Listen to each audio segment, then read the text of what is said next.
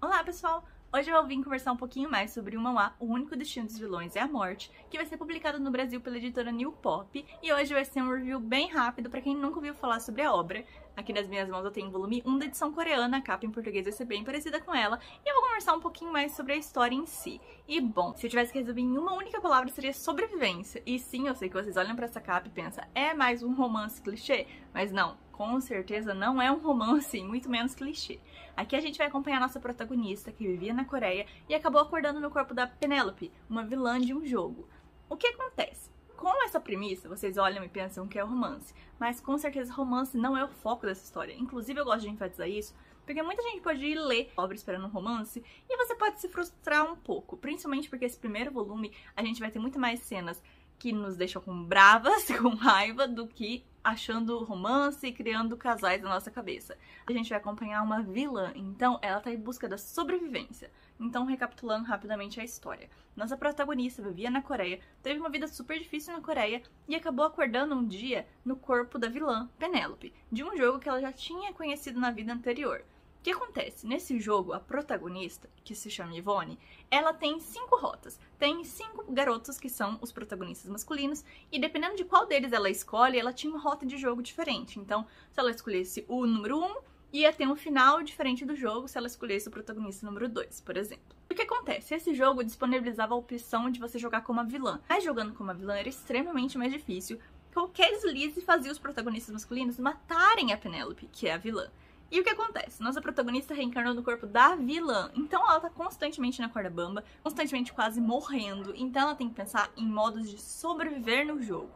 Ela entrou no jogo sem saber como. Ela não sabe como ela entrou no jogo, mas ela tem que tomar cuidado, já que qualquer deslize pode levar ela à morte. E ela não tem certeza se a morte leva ela de volta pro mundo dela ou realmente acabou tudo. Essa pode ser a segunda chance dela de viver, ou talvez, se ela conseguir concluir o jogo, ela pode voltar para a vida anterior dela. Então ela vai se dedicar ao máximo para concluir esse jogo com vida. O que acontece? Basicamente o jogo termina quando um dos protagonistas masculinos, aquele que você escolher, chega na pontuação de 100%. Acontece que a Penélope Penélope entrou no jogo no modo difícil e todos os protagonistas masculinos estão com 0% de interesse nela. Um deles está menos 10%, ou seja, muito mais próximo de querer matar ela do que de se apaixonar por ela.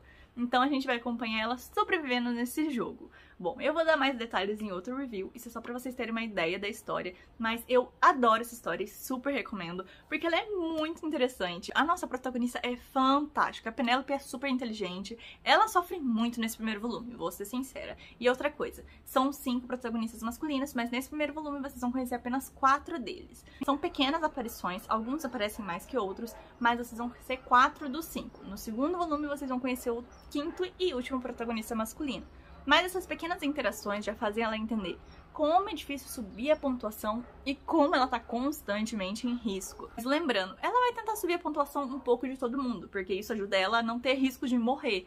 Mas, além dos protagonistas masculinos, basicamente todos os personagens odeiam ela, já que ela é a vilã. Então a gente vai ver ela sofrer muito. Por isso eu digo, você não pode ler isso aqui esperando que seja só romance, porque na verdade é muito mais sobrevivência. A gente vai ver a Penélope passando por muito perrengue, muita situação complicada, sofrendo muito e a gente sofre por ela. Então eu recomendo que vocês leiam com mente aberta, porque não vai ser romance, gente. Você pode até achar, ah, ela combina com tal personagem. Mas não vale a pena torcer muito também, porque a história tá sempre nos surpreendendo quando você acha que um é confiável, não é mais confiável. Então é muito interessante essa história. A história tá constantemente mudando, te surpreendendo e fazendo você mudar qual é a rota mais segura para ela. Bom, essa obra ainda não está completa na Coreia, por enquanto tem cinco volumes lançados, e o volume 1 da edição em português vai sair no final de janeiro de 2023, mas já está em pré-venda na Amazon.